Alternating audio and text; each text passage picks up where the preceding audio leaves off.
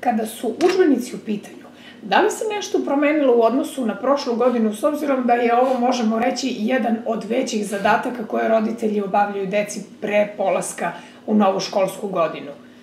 Da li se nešto promenilo po pitanju izdavača, po pitanju broja knjiga koje treba sada, recimo, zavisno od razreda, ali da li se nešto tu promenilo? Pa, e, što se tiče e, nekih e, radikalnih izmena, jeste ta najveća promena i novina što će se od ove godine, u narednim tri godina, neće učbenici moći da se menjaju, što je dobro i to je na neki način ušteda za roditelje, jer do sad svake godine su se učbenici na neki način menjali. Sad, eto, pokušaj, nadam se da će biti uspješan, da u narednim tri godine neće doći do izmene učbenika.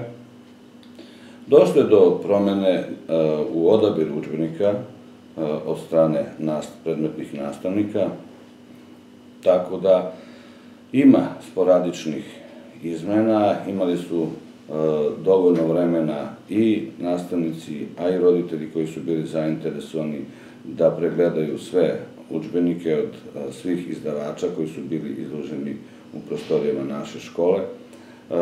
Moram da priznam da su nastavnici bili jako aktivni u tome i da su dosta vremena proveli listajući te učbenike, dok ne mogu to da kažem da su uradili i roditelji nisu baš pokazali neko veliko interesovanje.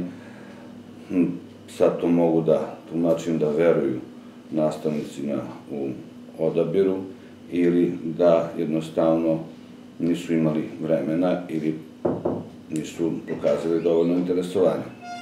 E, nije se nešto bitno promenilo. Što se tiče izdavačkih kuća, mislim da na, najveći procenat u našoj školi a, zauzima klet. Tu su i Logos, Zavod za učbenike, imamo i matematijsko,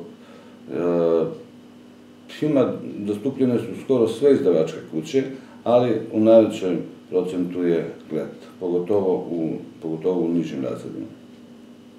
Veliko hvala i puno uspeha sada 1. septembra pa da naredne godine bude još više prvaka.